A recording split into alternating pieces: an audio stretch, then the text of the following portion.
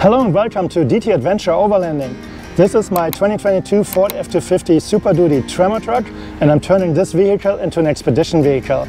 I hope you want to come along so please hit the subscribe button to my channel, hit that little notification bell and then I hope to see you in my next video. Thanks for watching, have a great day, bye bye.